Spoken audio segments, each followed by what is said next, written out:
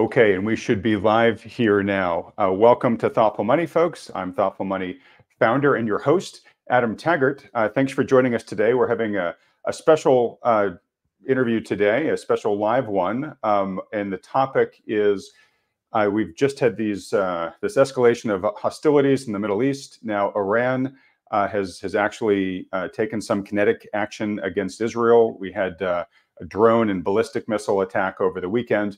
Uh, I know a lot of people are obviously concerned about this development.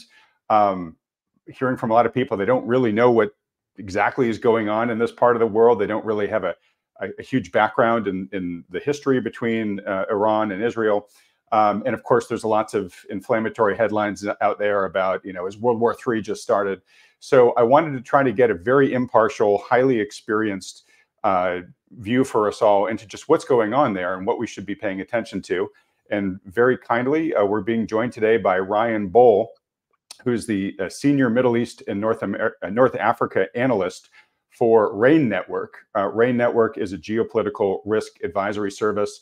If you're familiar with the uh, the company Stratfor, RANE has uh, also acquired Stratfor. It's it's part of that constellation.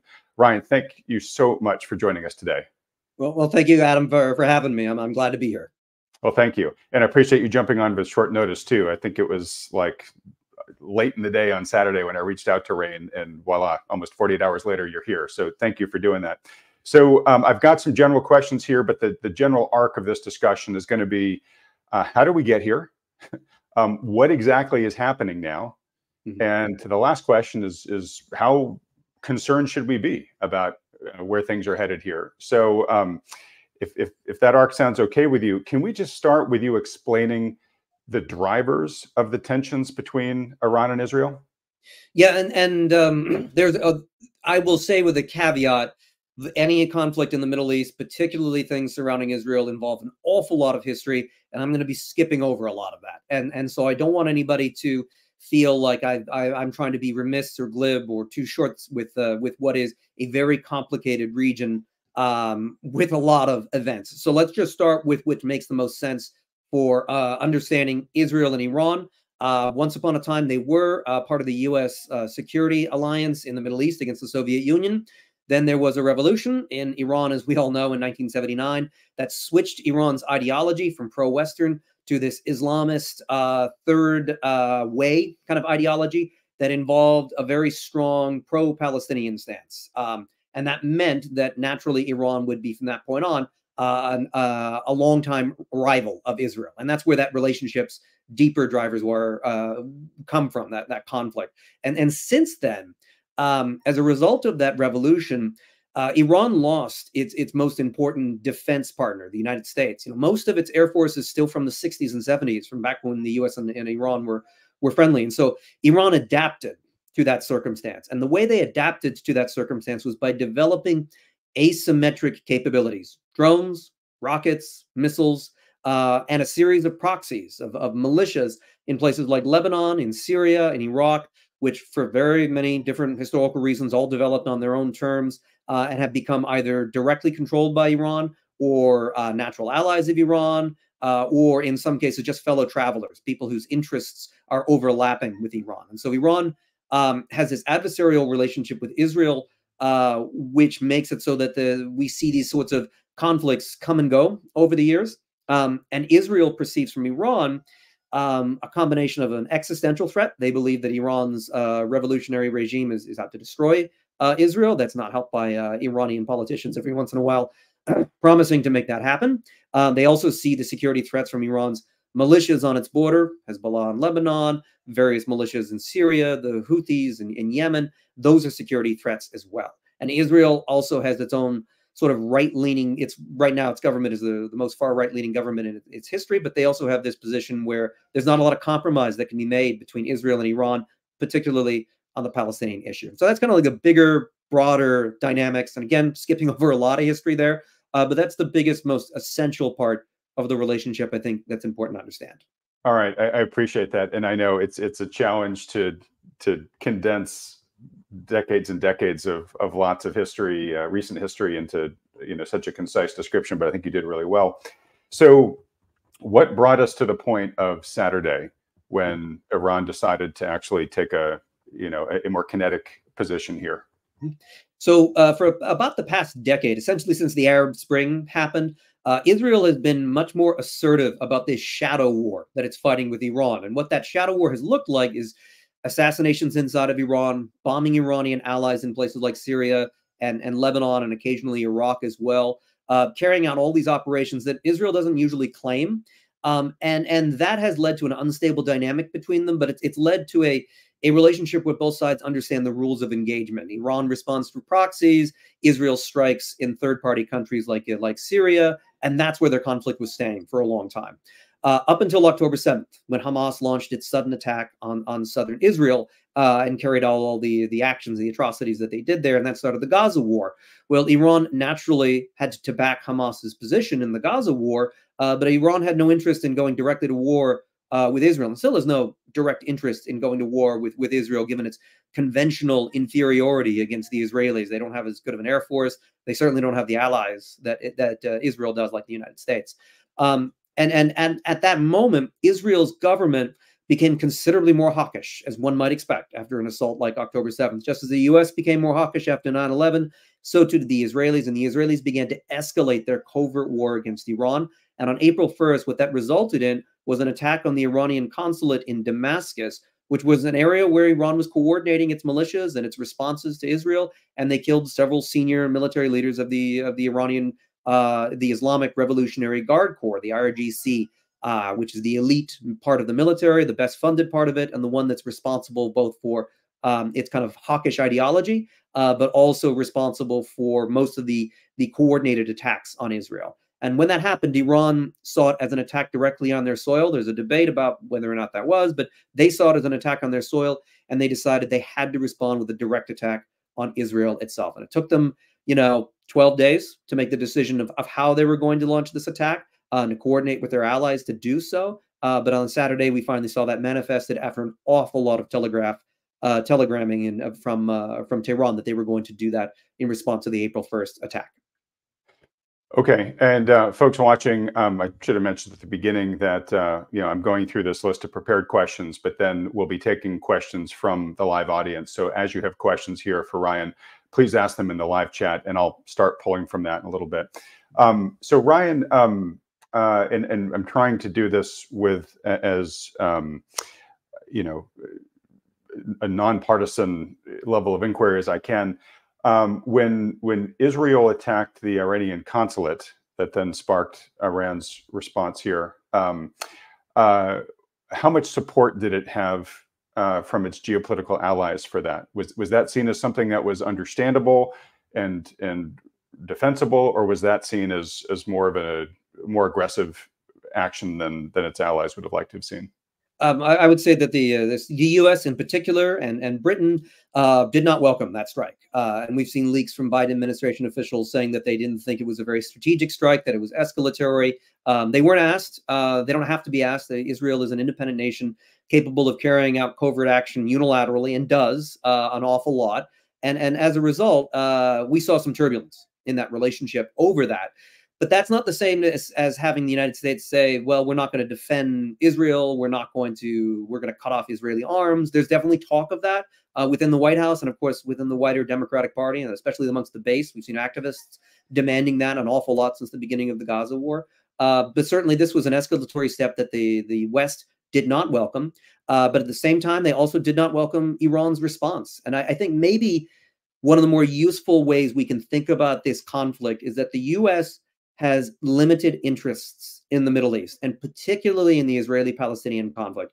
America's primary interest in this conflict is security and stability. They don't care necessarily how the Israeli Palestinian conflict resolves itself, whether that's a one state solution where Israel takes over the whole territory, two state solution where they divide it up, something in between where Israel is managing things. The US doesn't really have an opinion or an interest in that. What it does have an interest in is security for Israel, in part because it's a close ally, but also because it is a nuclear weapons power and an escalation scenario that gets out of control uh, between a nuclear armed power and a power like Iran. That's clearly something the United States doesn't welcome.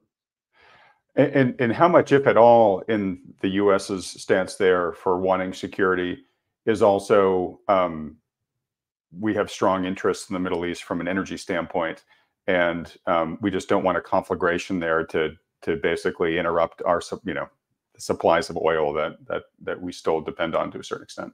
Exactly. That, that, that's another big part of it. If Israel, and we are waiting for Israel's potential retaliation for this attack on, on, on April 13th.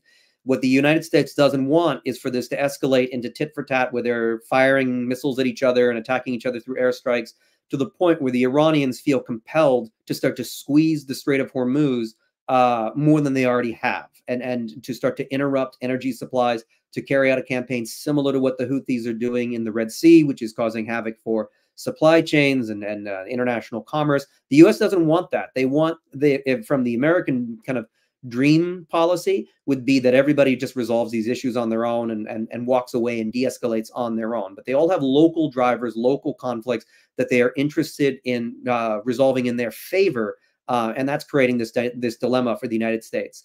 Um, on a wider sense, uh, the U.S. is also there's war in Europe. Uh, there is the potential of a Chinese invasion of Taiwan. The U.S. is aware of these massive strategic shifts that are happening globally, and the U.S. is not remilitarizing the way that we did during World War II. There's only so many arms that can go in so many places, so many jets and so many pilots, et cetera, et cetera. Uh, and so the U.S. is picking and choosing, and it's trying to stay out of the Middle East as much as it can and that helps explain some of the behavior that we have seen. Because if the US picks a side too strongly and tries to force a country like Iran or Israel or anybody else to go against their own core interests, they know that that's that increases the risk of the US being drawn back into a region it's trying to draw down from so it can focus on Europe and, and Asia. Okay, so now is where we get in the danger of the questions just start multiplying from here. Um, so you, you said that while the U.S. and Great Britain, um, you know, weren't weren't totally on board with the Israeli strike on the consulate, uh, they did actively participate in the defense of Israel um, as the drones and ballistic missiles were coming in. Um, so, uh, to a certain extent, they are at least maintaining their, you know, sort of historic support uh, for, for, Israel here. Um, I, am the wrong guy to be saying stuff like this, but I, I saw coverage of Biden reaching out to uh, Iran. I think before Iran did its launch and said, "Hey, don't retaliate for uh, that consulate bombing." And of course, Iran decided to to then um, attack Israel. I, I, think I've seen similar reports where Biden administration has told Israel, "Hey, like be measured in your response. Like don't escalate this thing."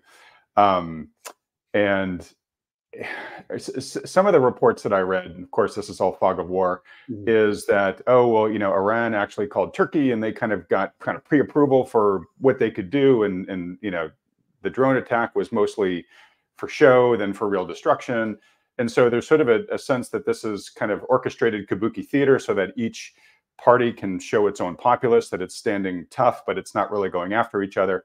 But then again, this morning think there are headlines that Israel, which headlines a day ago saying we're considered being more measured and moderate, given that there wasn't much damage, to now all of a sudden, you know, the Warhawks uh, in uh, the Knesset are saying, no, we need to be forceful. So, what's the danger here of this tit for tat escalation where it just becomes a Hatfield McCoy thing where for every injury, you got to do a bigger response and it keeps building?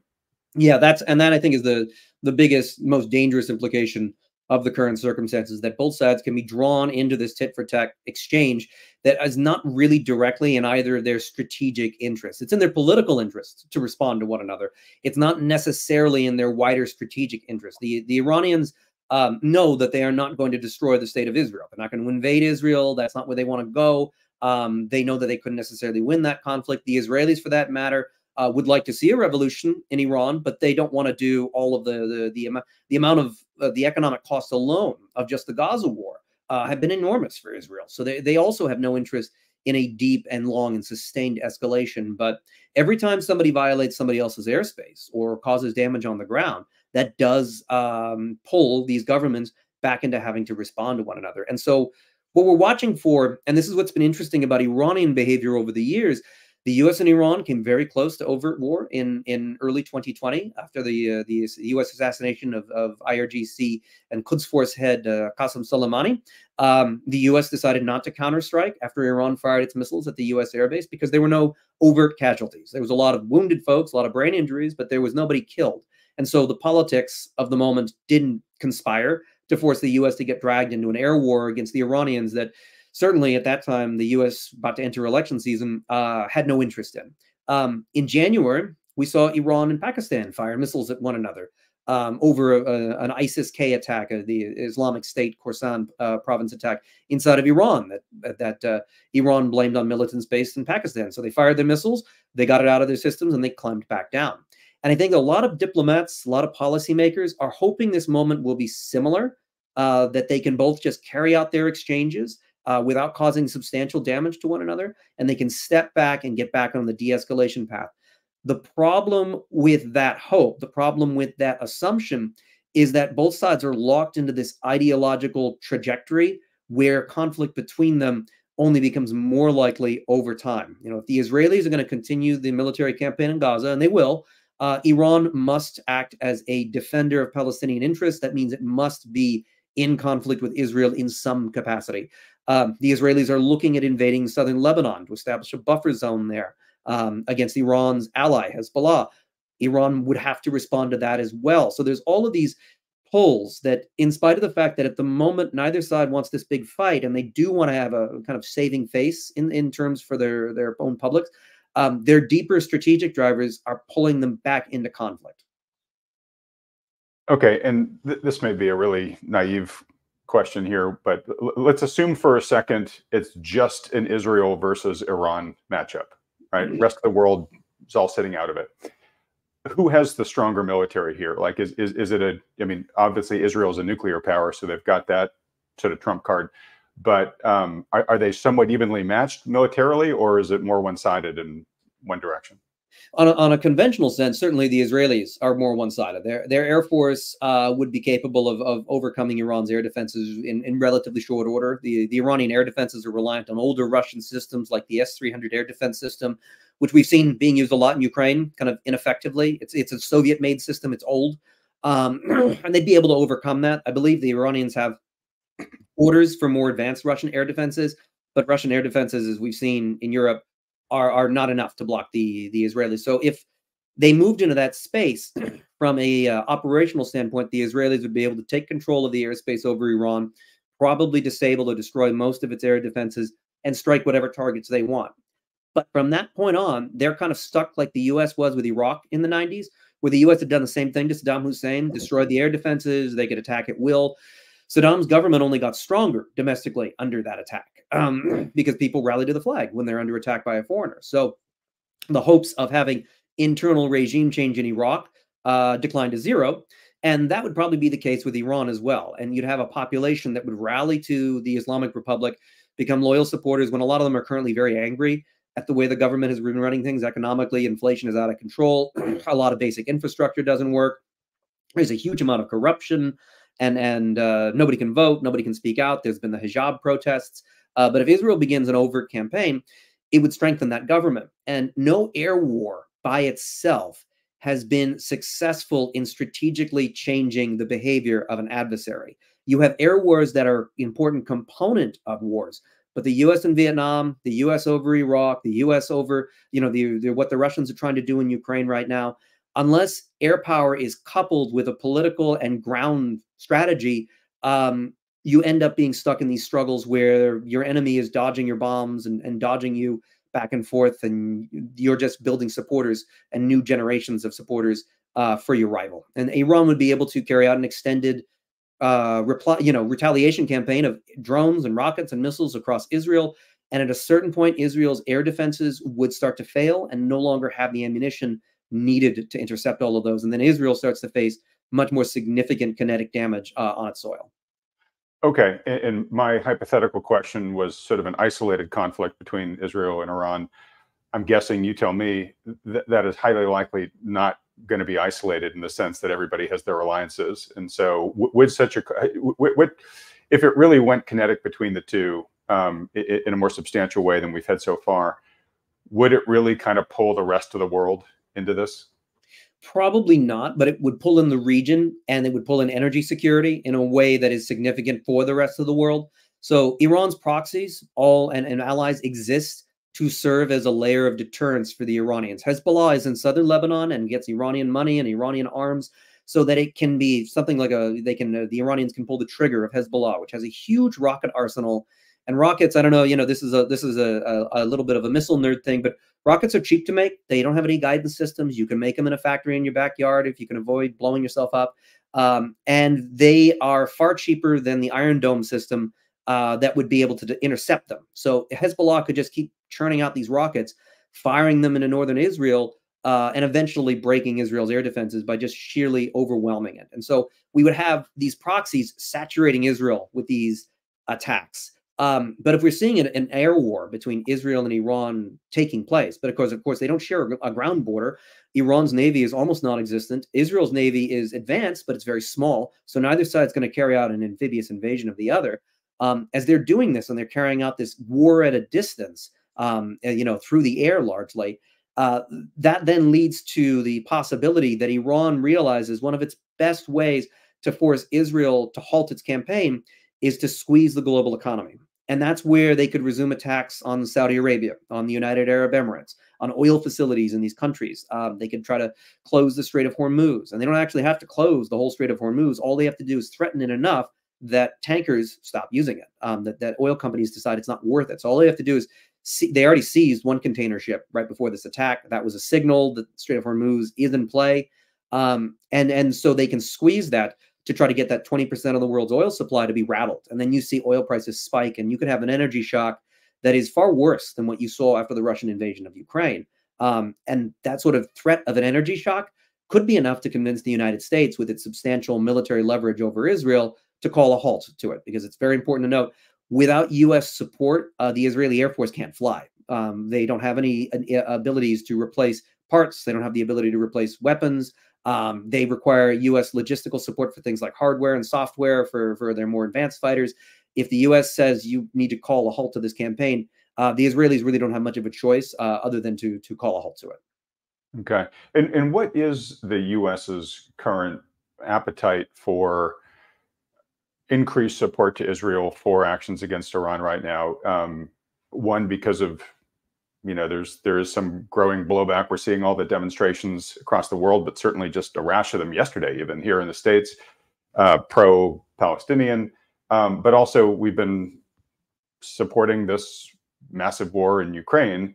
And you know even before this latest flare up between iran and, and israel there were you know there, there are lots of there's lots of political resistance to continuing uh, to provide that kind of support for a foreign war. So mm-hmm is our appetite cooling or hey we're on team israel all the time no matter what?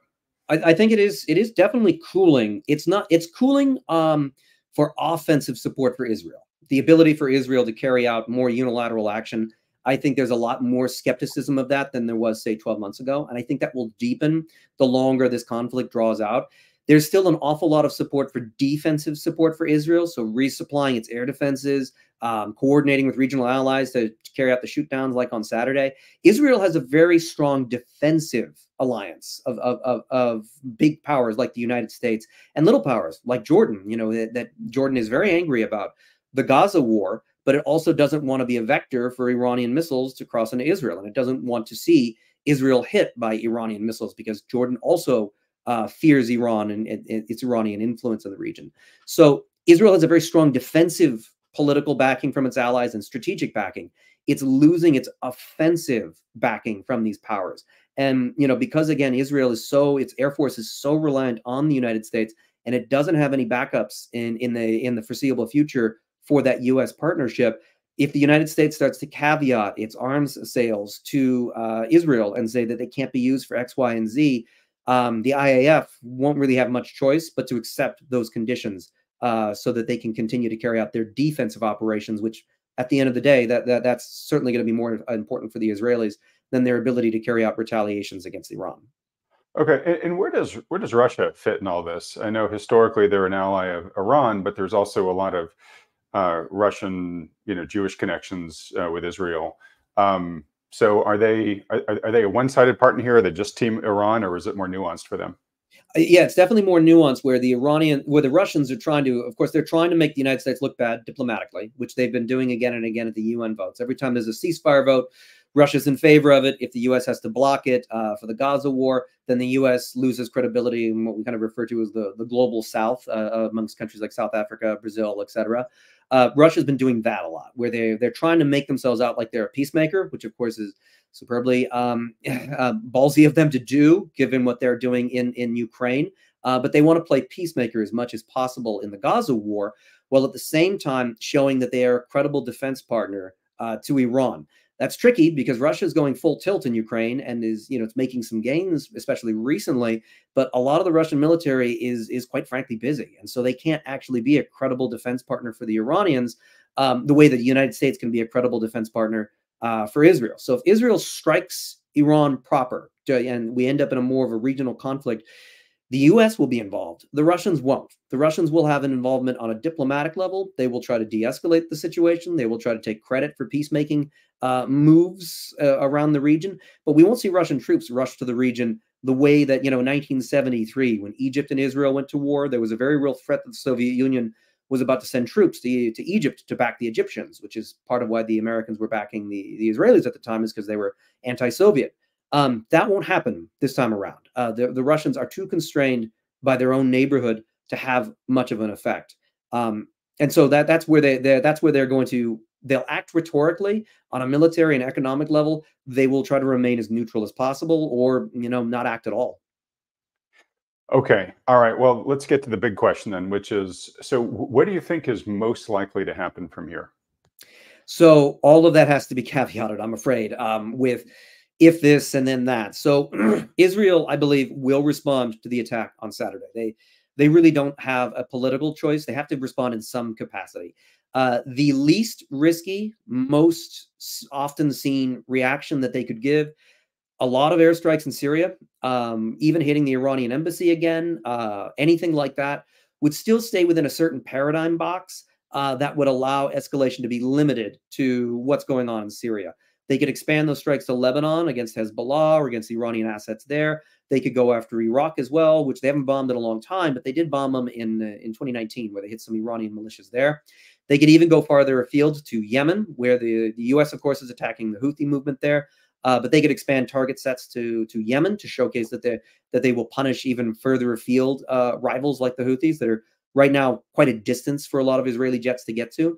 Um, that's the least risky is to is to strike back on the proxy theaters um, because they do that already, and the Iranians don't necessarily have to respond to that, although they're suggesting that they might.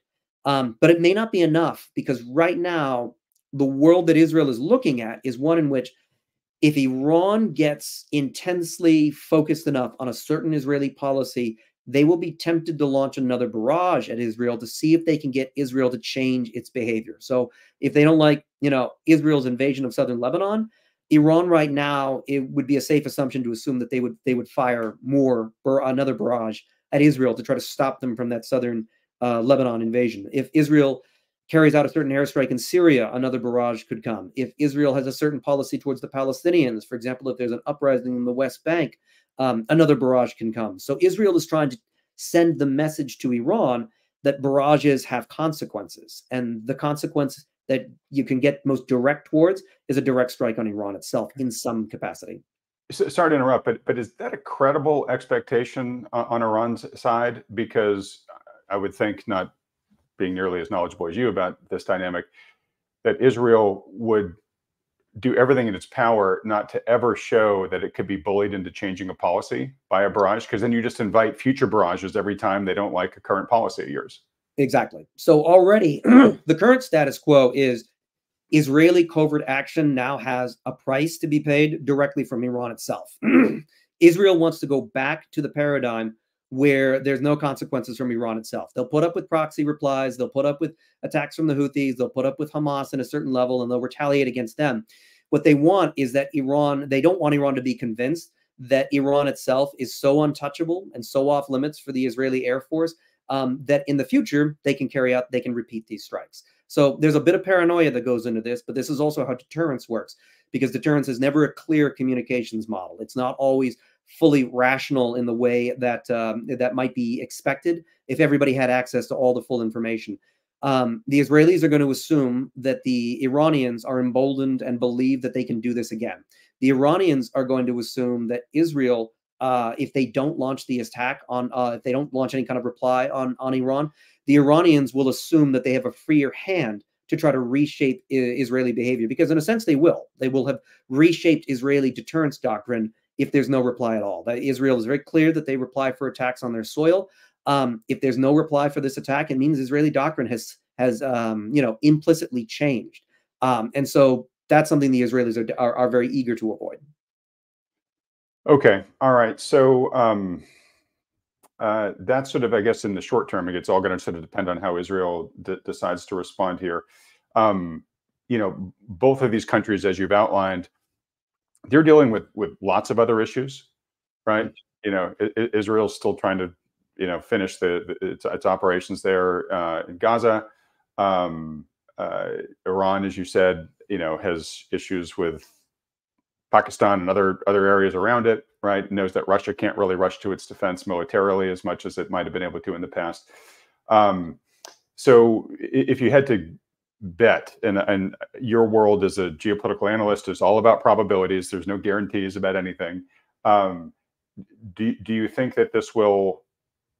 Yeah, there'll be a dust up for a while, but cooler heads will prevail, and and folks will go back to focusing on the other issues that they're dealing with or do you think that this really does have is looking like it could could spiral higher I I tend to think the the imperatives of Israel and Iran favor at finding a path to de-escalation, to finding a way to get away from this conflict that neither side really welcomes, other than you know the politicians trying to look tough, um, and the and the generals that are concerned about deterrence.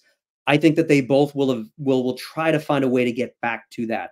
It's just so unstable that path. It's like trying to cross a bridge, you know, wooden bridge, one of those rickety, you know, uh, rope bridges, where say every third plank is, is been removed, and and you can see it, you know it, um, but the longer you cross that bridge, the more likely you are to make a mistake. And and I think that's where we're at is that both sides are going to try to find a way to continue to reshape their military relationship, their cycle of deterrence and and, and covert action against one another. And it will be very easy for either side to make a mistake. And in this case, it's more likely that the Israelis will make a mistake because they are more hawkish right now. Um, part of that's political, but it's the result of, of the October 7th attack. And we're thinking about as, as, as Americans after 9 11, uh, the U.S. carried out an invasion of Iraq in spite of the fact that they weren't tied to what happened on 9 11. That was part of the politics of the moment.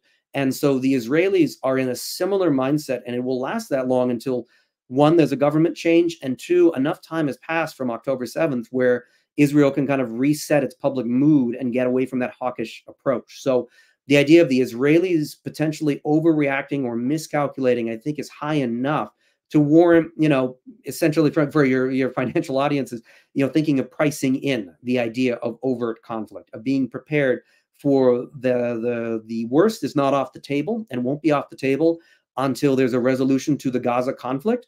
Um, nobody wants the worst. Everybody can see the worst, but it is possible to get there uh, through mistakes and and and um, you know a combination of mistakes and misfortune. So bad luck and bad planning uh, can cause conflicts that that nobody particularly wants. Okay, and I know that you're a geopolitical analyst and not so much an economic analyst, but what's your general assessment of how the current tensions in the Middle East leading up to this weekend and post this weekend are having on the, the global economy and or global financial markets?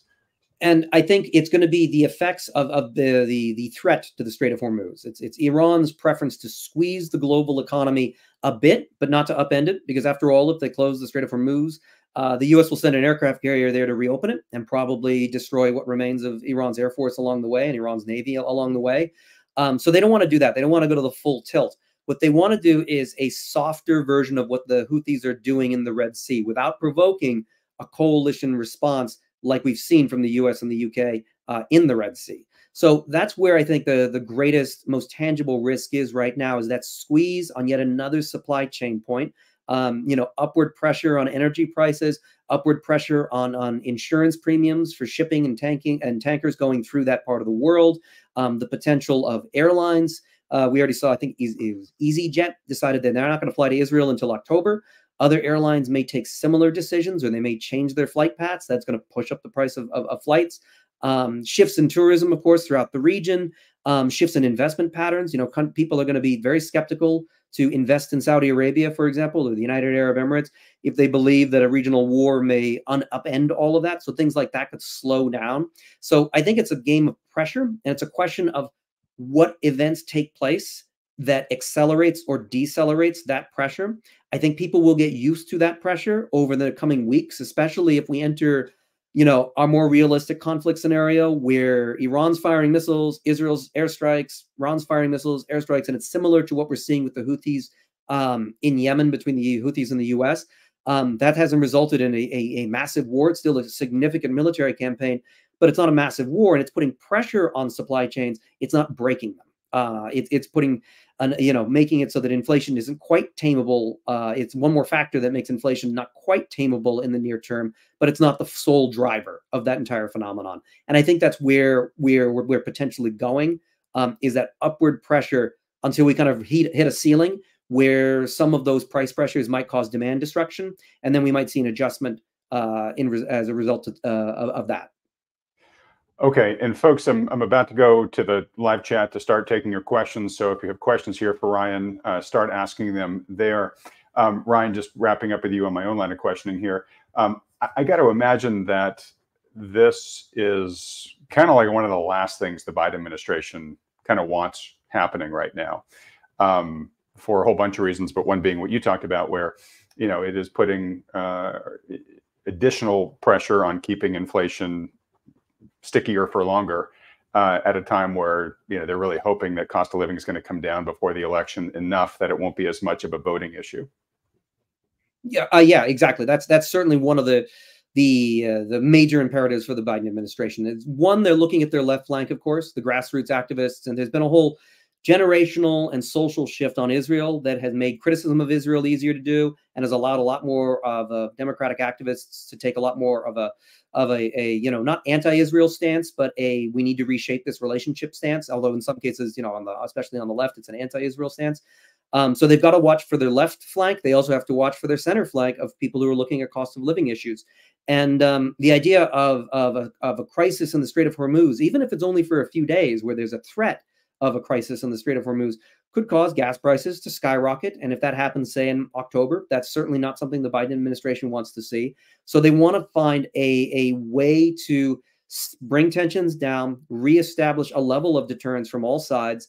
Um, and that's, you know, you can see some of that actions with why they were so assertive in shooting down so much of Iran's drones. They're trying to signal to Iran that you can fire as many drones as you want. The U.S. is going to block them all. You're not going to get the the over the top psychotic response that you want out of the Israelis. You're just using up your drones that should be going to your Russian allies anyway. Um, and and uh, that's the signal that they're trying to signal to, uh, to, send to the Iranians is that further escalation is is um, in a certain sense futile. Okay, and that that kind of gets to the final question I was going to ask you, um, which maybe you've now answered, but if there's more to it, put it on here. Which is, what will it take to de-escalate the situation? Like what specific strategies and tactics do you see all the players taking? The uh, the certain answer i've got for that the core answer to how this all ends is something the, the the gaza war comes to an end and that comes to an end either through israel capturing and killing all the hamas leaders and suppressing them and, and essentially reoccupying the gaza strip. Um, that will end all the political incentive for everybody to escalate on their behalf once that that that situation is resolved. It could also be a diplomatic outcome in in gaza where you know the Israelis withdraw or Hamas surrenders and goes into exile. There's all of those options. But if that happens, then the region will start to calm back down again because that's the core driver of this.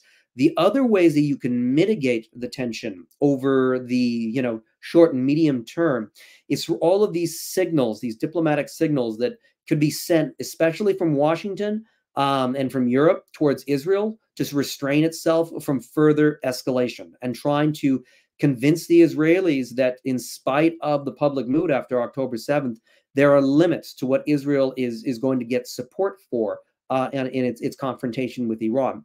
Iran right now is is willing to go back to the status quo. They said as much that they'll go back to the status quo that they've now reshaped in their favor, um, having launched their barrage and saying we're not going to fire anything more unless the Israelis reply. So you can end up in this unstable detente situation where Iran and Israel are still eyeing each other warily. Um, but under U.S. pressure for the Israelis, and of course a lot of internal pressure uh, for the Iranians, neither side decides to pick a fight Again, the liability of that, that's not a resolution. That's just conflict management. That's keeping two, you know, squabbling um, divorcees in the hotel room talking, uh, even though most of their talks, you know, most of their their exchanges are insults. Um, you can call it a success because they're still in the same place. But at the end of the day, you're you're still setting up the stage for another explosion later down the line. Okay. All right. Uh, well, folks, we're now going to get to your questions. Um, uh, and, and folks, if you like this format of bringing on uh, an expert uh, like Ryan here about important breaking developments, would like to see more of this on timely topics going forward, let me know in the live chat as well if there's enough demand. Obviously, we'll try to repeat this going forward. By the way, Ryan, I've, I've really been enjoying this and valuing this. This is wonderful. Would love to have you come back on the program again in the future um, to update us you know along the way as this important uh, this important situation hopefully resolves, but however it evolves from here. Um, I'd be happy to. I appreciate that. Thanks so much. Oh, thanks. Okay. Well, look, um, you might not appreciate it after we get to some of these questions. Some of these questions are rough. uh, let's see here. Um, where's the one I saw? Um, I mean, some of these are crazy. This this one is is a little more rational, but but not super easy. Uh, Carlos asks, why does Israel, a very small country, have so much influence on our foreign policy? Um, no, that's a great question. These are great fundamental questions as to why do, especially people perceive like Israel is able to get a lot out of the United States the way that, say, Saudi Arabia, another way, arguably, Saudi Arabia is more important, especially for our energy security, but the Saudis were carrying out their war in Yemen. The U.S. didn't like it, and the U.S. more or less put pressure on the Saudis to de-escalate that situation uh, to the point where there's now peace talks between the Saudis and their rivals, the Houthis. Um, so why doesn't Israel get that same treatment? One, um, it is ideological. Uh, the U.S. has had this current of of Americans that have been interested in the Holy Land since the foundation of the Republic. There's a place in Jerusalem called the American Colony that was founded in the early 19th century by a bunch of missionaries who during the Ottoman Empire era wanted to show up and, and kind of like remake this utopia. And so there's this religious attachment to the status of Israel that is very deep in America's political and ideological DNA. Uh, and they want to see the outcome of it. So it's political in a lot of senses. Um, that has manifested now, of course, through largely the Republican Party, but certainly substantial parts of the Democratic Party are also there, um, where there's political support for Israel and it gets a, a special relationship that other countries don't.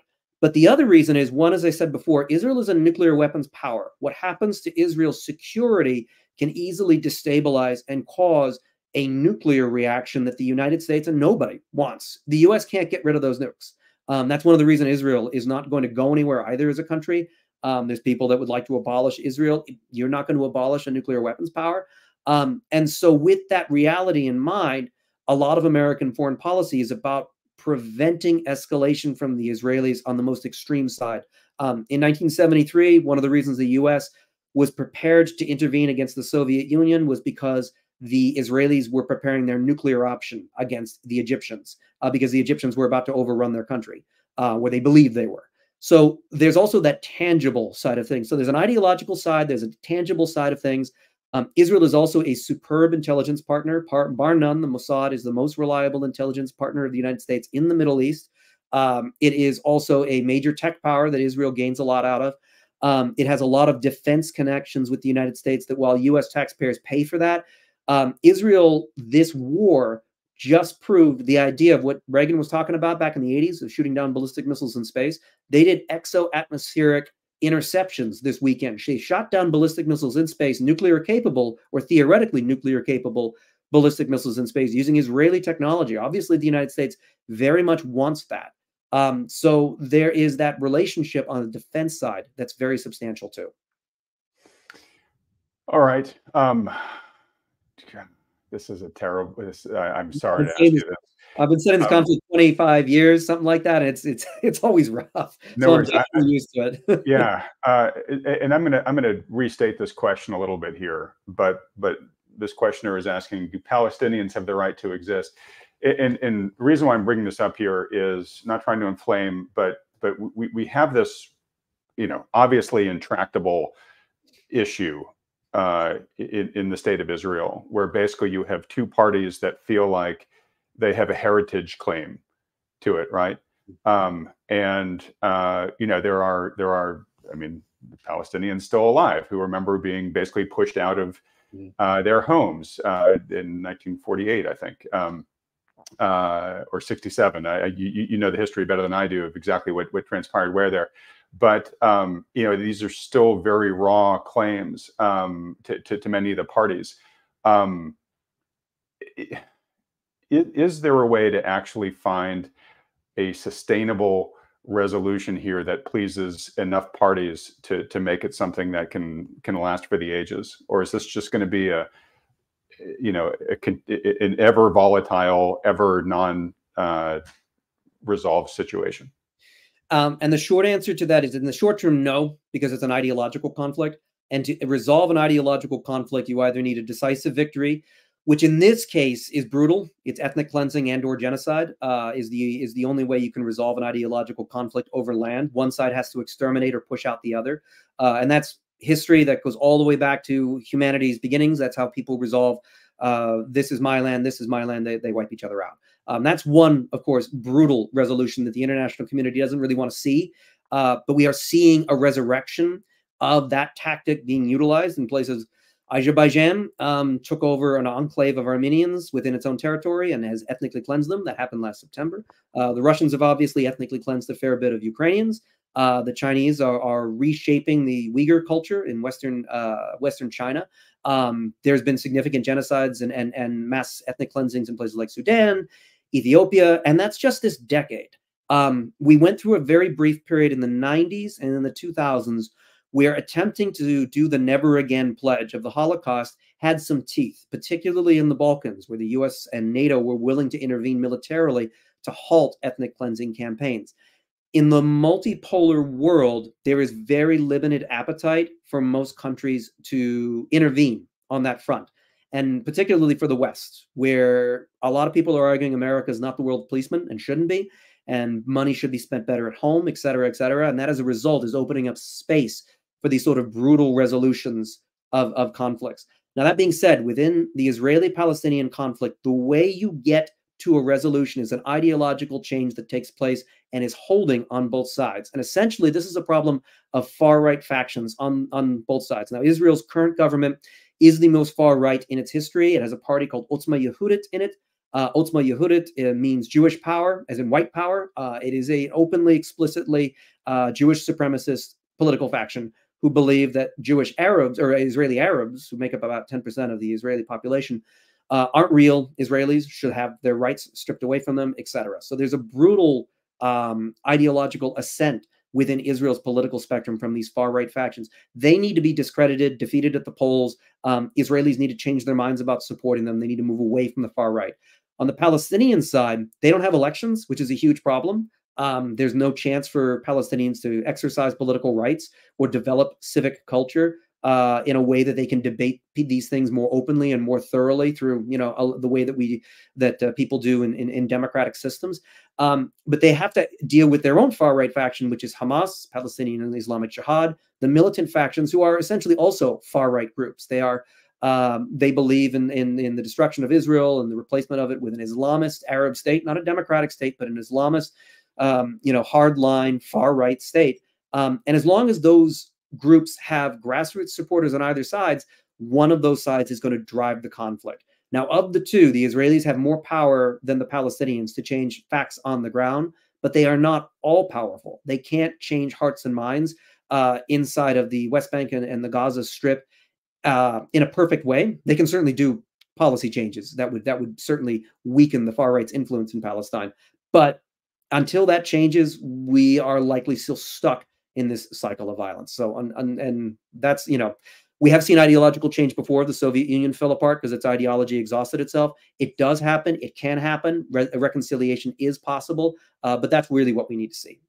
Okay. And from a hearts and minds standpoint, you, you mentioned earlier that when a country comes under attack, it, it generally leads to solidarity with the ruling regime.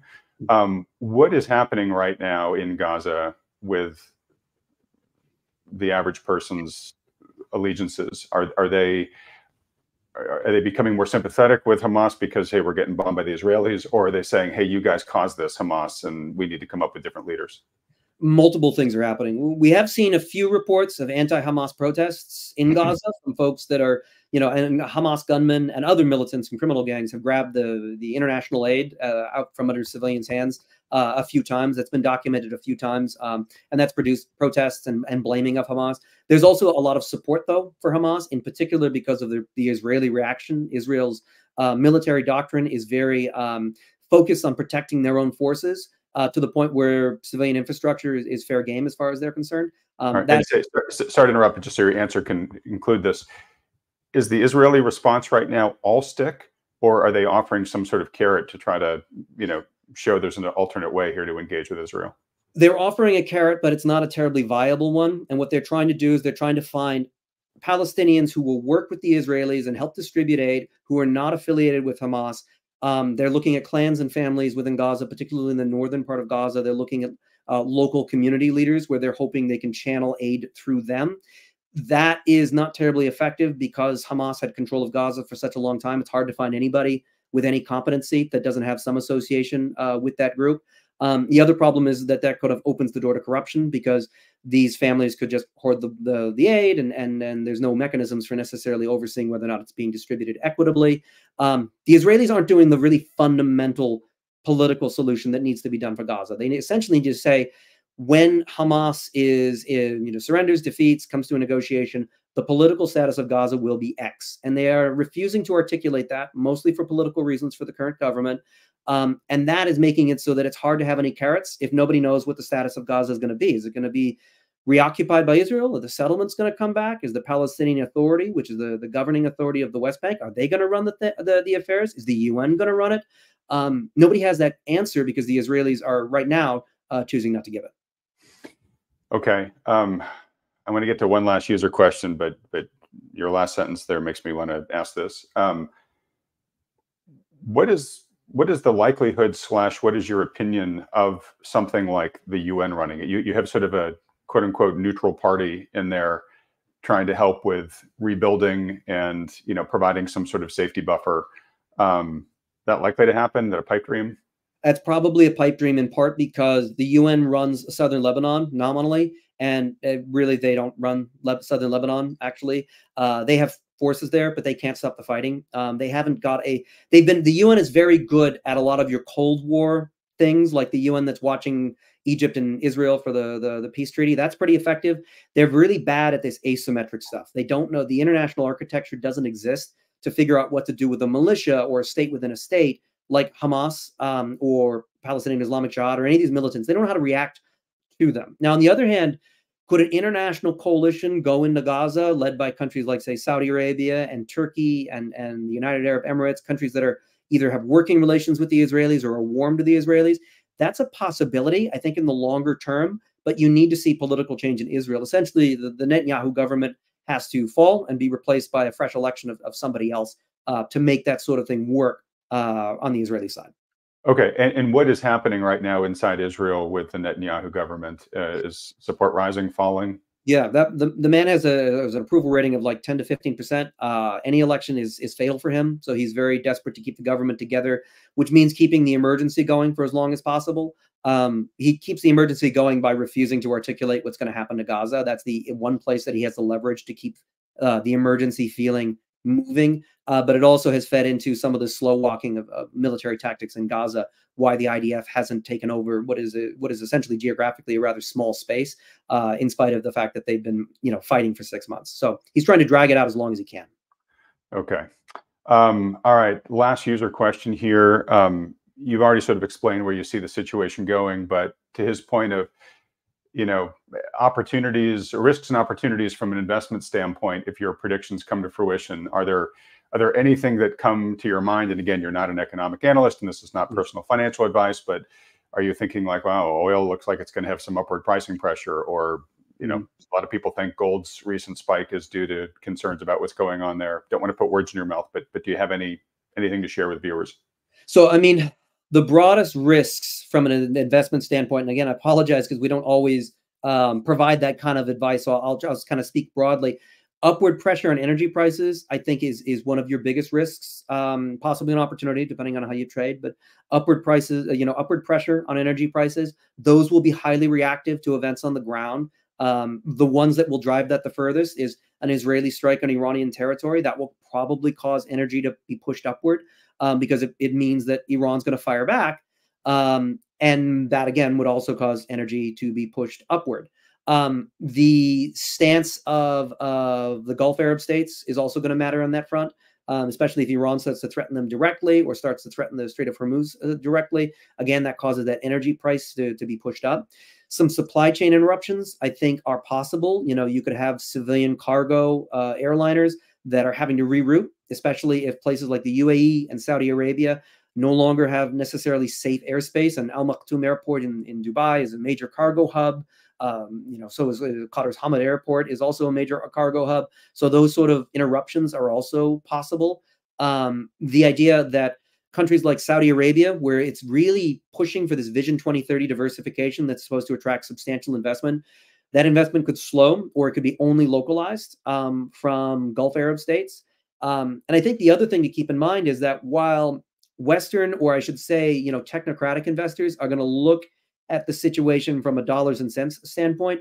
Your strategic investors from groups like the Saudi Public Investment Fund, the PIF, they will be looking at things from the geopolitical lens. So they will be putting money into countries like Jordan, like Egypt themselves, uh, to make sure that their economies keep going, that the public of those countries remains, you know, at least loyal enough in the in the case of places like Jordan um, to prevent instability. So just because we might have instability in the region doesn't mean that say investment flows stop but that the sources of them probably change and are, are driven by strategic calculations from your Gulf Arab states that at the end of the day see money as a means to an end rather than an end in and of itself. All right. Um, God, just fascinating. All right. Well, look, Ryan, um, we're, we're going to start wrapping it up here. Thank you again for doing this. Um, from what I'm seeing in the chat here, folks have really enjoyed this, very much valuing your, your expertise. Uh, so, folks, we will continue to do this again for future breaking developments. Um, Ryan, for folks that have really enjoyed this discussion, for most, I, I imagine it's their first time um, hearing you. Where can they go to follow you and your work? Um, right now, I'm using a lot of LinkedIn to promote uh, to promote work. So more than welcome to follow me on on, on that. I, I'm still on X. I don't. I'm not as active on that as I used to be, but I'm still there, and occasionally we'll chime in there. Um, I'm also on Threads, which is we're trying um, with that platform, uh, but uh, that's not always a place where where my work necessarily gets gets traction. Um, but I mean, yeah, LinkedIn is where I do a lot of the whenever I do interviews with television or anybody else, I tend to post it there, and I tend to post articles there as well. Um, and of course, you can visit our website where my assessments are part of a broader team effort, that ranenetwork.com right there, um, right. where you can get yourself a, a sign up for a, you know an exploratory account, see if our content is something that is valuable for you. Fantastic. All right, folks. Well, look, please, uh, please give Ryan a big thanks, both in the live comments there, but also by hitting the like button. And while you're doing that, click the red subscribe button and that little bell icon right next to it. And just a reminder uh, for all things uh, thoughtful money, our free newsletter, uh, our um, uh, you know, free consultations with the financial advisors to, to, you know, if you've been motivated by some of the things that Ryan said here, talk them through with your professional financial advisor. If you don't have a good one, feel free to talk for free to one of the ones we endorse to do that. Obviously, all that stuff can be done just at thoughtfulmoney.com. Um, Ryan, real pleasure. Like I said, really look forward to having you back on again in the future. Um, you know, I'll, I'll reach out at some point, but if something in the interim happens that is changing your point of view, please reach out to me. We'll pull you back on the program. We'll do the same thing all over again. Absolutely. I really appreciate it, Adam. Thanks for the opportunity. Uh, my pleasure. Everybody else, thanks so much for watching.